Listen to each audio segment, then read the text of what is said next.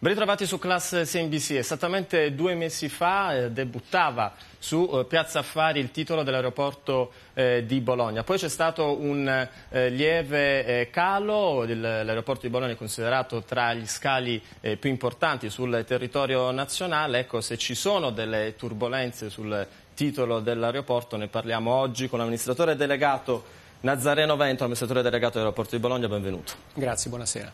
Allora, esattamente due mesi fa dicevamo il debutto, il decollo, perché inizialmente c'è stato un vero e proprio decollo del, del, titolo a Piazza Affari, poi una flessione. Adesso facendo un primo bilancio nei primi due mesi eh, perdete circa il 2%.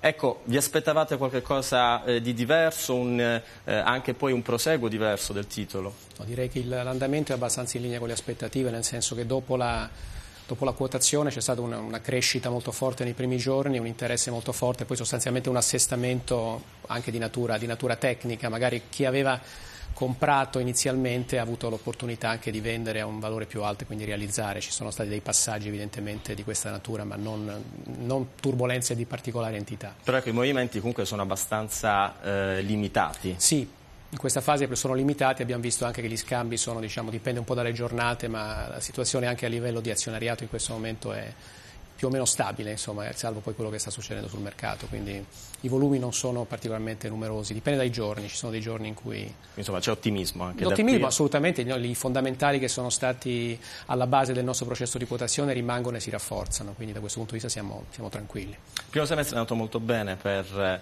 eh, per aeroporti di Bologna, poi eh, luglio è stato un mese dove ci sono stati tantissimi, un numero molto elevato di passeggeri, 700.000, uno dei più eh, ricchi eh, di sempre. Ecco, volevo chiederla eh, quali numeri avete in mente proprio come traffico di passeggeri adesso poi dopo la eh, quotazione da qui, facendo una previsione da qui a un anno?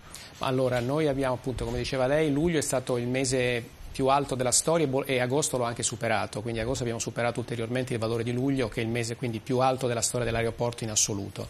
Eh, abbiamo una crescita ad agosto del 2,5% e pensiamo di crescere entro fine anno, a fine anno su numeri più o meno simili anno su anno 2015 sul 14. Quindi diciamo che prossimo anno supereremo ragionevolmente la soglia dei 7 milioni di passeggeri.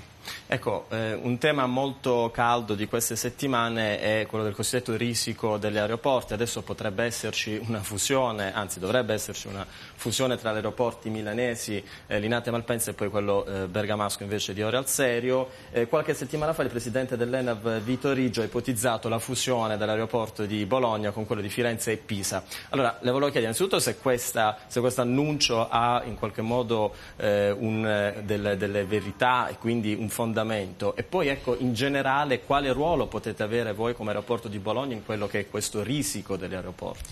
Partendo dalla dichiarazione del Presidente Riggio, lui come correttamente ha detto era una dichiarazione a titolo personale, lui chiaramente è il Presidente dell'ENAC, quindi dell'autorità di regolazione del sistema nazionale, quindi ha sua, un suo ruolo, una sua voce, però era una dichiarazione probabilmente legata a un'idea che il nostro regolatore ha, che è di eh, provare ad aggregare dei sistemi regionali in una logica diciamo, di massa critica. Quindi in termini ideali sono progetti che possono avere un certo senso, dal punto di vista concreto nel nostro caso non ci sono in questo momento sul tavolo progetti di questo tipo, quindi è un'opinione personale del Presidente Riggio che rispettiamo, ma non abbiamo sul tavolo progetti di questa natura in questa fase. In più in generale è vero, c'è un processo di aggregazione, di consolidamento negli ambiti regionali, Toscana da una parte, Veneto, Nord-Est, Venezia, Verona, Treviso dall'altra, sistema lombardo dall'altra ancora.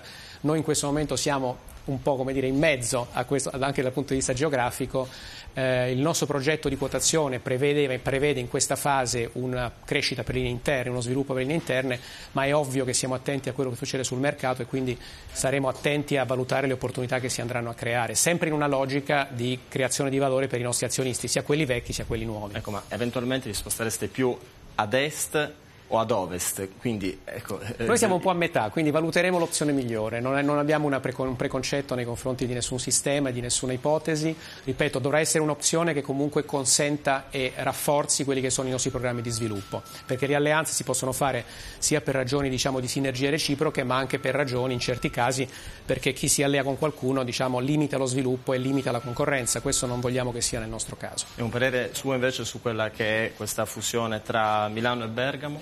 Beh, lì credo che abbia un certo senso da, diciamo, da, da, persona che lavora nel settore, poi ovviamente il processo è nelle mani di, di, chi lo sta seguendo, in particolare gli azionisti di due aeroporti, perché da una parte abbiamo Bergamo che è cresciuto molto negli ultimi anni e ha evidentemente una situazione anche territoriale di forte vicinanza alla città, quindi da gestire in qualche modo, dall'altra Malpensa ha una capacità di riserva che è inutilizzata in questa fase e quindi può diciamo, in un'ottica di sinergie essere messa al servizio di un sistema complessivo. Avete incrementato le vostre rotte negli ultimi sì. mesi, adesso a novembre eh, partirà il Bologna-Dubai, poi ci sarà anche il Bologna-Mosca, quindi nuove rotte a livello internazionale. Le volevo chiedere se ci sono anche delle ulteriori novità proprio per incrementare il traffico di passeggeri dall'aeroporto. Sì, la nostra strategia appunto è di lavorare sulle aree in qualche modo meno connesse oggi o quelle a maggior potenziale di sviluppo. Come diceva giustamente lei, il 3, il 3 novembre parte il Bologna-Dubai con Emirates, siamo il quarto aeroporto italiano a essere connesso direttamente col Golfo dopo appunto Roma, Milano e Venezia, che sono i tre aeroporti hub strategici del sistema nazionale. Il quarto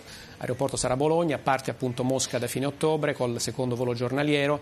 La direttrice nostra di, di investimento di, sul mercato è proprio in quelle direttrici lì, quindi non ci fermiamo a quelle destinazioni, andremo a perseguire ulteriori collegamenti. Sull'Europa andremo a riempire le, diciamo, le aree non ancora connesse, che in realtà sono molto poche, perché noi abbiamo una delle connettività a livello nazionale tra, tra, le migliori, quindi in realtà con i principali hub siamo collegati, con gli aeroporti secondari europei principali siamo collegati, dobbiamo incrementare.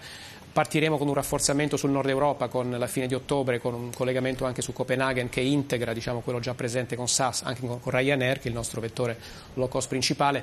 Andremo diciamo, a, a, intervenire in maniera, in maniera eh, strategica sulle aree non ancora coperte. Ma ci saranno altre compagnie low cost che potranno volare dall'aeroporto? Eh, potenzialmente sì, anche se noi abbiamo già le principali, perché abbiamo Ryanair, abbiamo EasyJet, abbiamo Wizz Air sul mercato dell'Est Europa e poi abbiamo anche Jet4U sul mercato del, del Nord Africa, quindi diciamo che eh, le destinazioni principali e i principali operatori, le cose internazionali sono già operanti a Bologna. Grazie Nazareno Vento, l'amministratore delegato di Aeroporti di Bologna per essere stato con noi. Grazie a lei. Grazie ai telespettatori, vi lascio con la programmazione di Classe NBC.